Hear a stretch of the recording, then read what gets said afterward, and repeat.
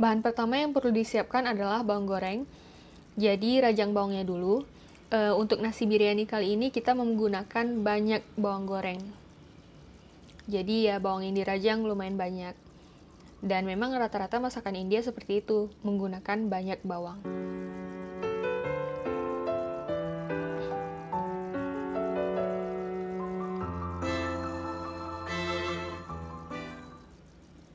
Dalam panci Panci uh, masukkan daging kambing, kayu manis, bubuk kunyit, bubuk cabai merah, pasta ginger dan garlic, kemudian da cabai hijau, daun mint, dan bawang goreng. Bawang gorengnya sisakan sedikit untuk garnish nanti ya. Kemudian masukkan curd atau kalau kalian nggak punya curd bisa masukkan yogurt tapi yang nggak ada rasanya. Kemudian rasanya. Kemudian masukkan minyak juga dan jangan lupa garam. Aduk-aduk hingga merata.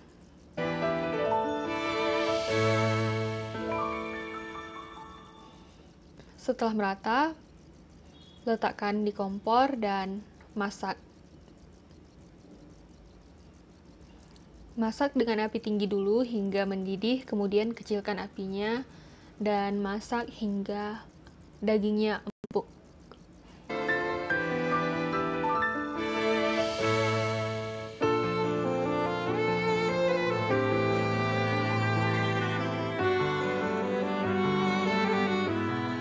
Sementara nunggu dagingnya masak, uh, panaskan air sekitar satu setengah liter Kemudian uh, masukkan kapulaga,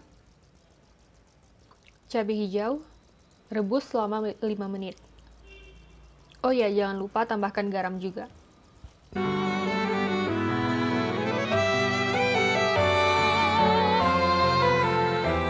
Setelah setelah 5 menit harusnya uh, kapulaga sama cabai hijaunya kita singkirkan, cuman saya lupa jadi uh, ini kecampur. Harusnya disingkirkan dulu sebelum masuk geras.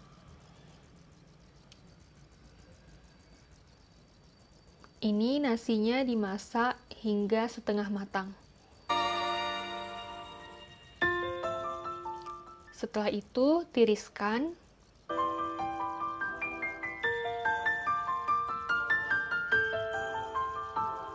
dan masukkan ke daging kambingnya pastikan daging kambingnya udah empuk ya sebelum masukin um, beras.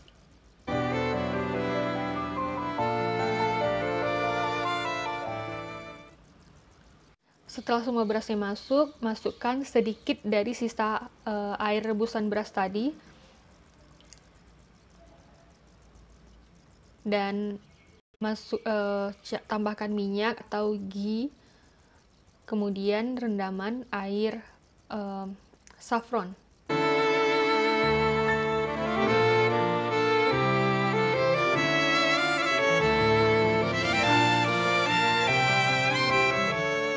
Letakkan tutup dan masak selama lebih kurang 15 menit. Dengan api besar sebentar, kemudian api kecil. Selanjutnya kita akan menyiapkan salad sebagai pendamping nasi biryani. Jadi uh, di sini udah ada tomat, kemudian cabai merah, uh, tomat, bawang merah, dan uh, daun ketumbar yang udah dirajang kecil-kecil. Kemudian tambah cabai hijau juga dirajang tipis-tipis. Kalau suka pedas tambah cabai hijau.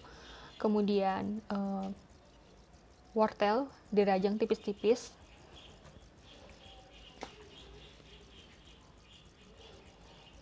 dan juga uh, timun. Timun yang udah dipotong kecil-kecil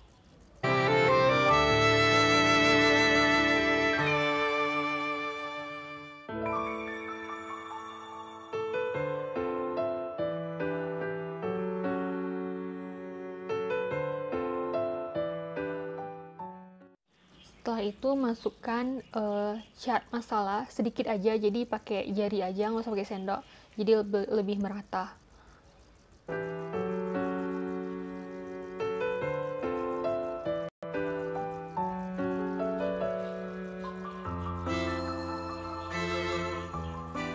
Kemudian masukkan garam.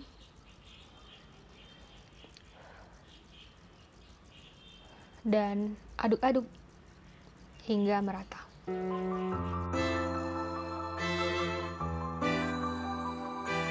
Nasi udah masak, salad udah siap. Sekarang tinggal menyajikan. Nah, kelihatan warna biryaninya ada warna kuning. Uh, kuning itu pengaruh dari saffron. Kemudian ada nasi warna putihnya, dan juga di bawahnya nanti ada warna kecoklatan yaitu warna dari uh, kari kambingnya. Diaduk dulu sebelum disajikan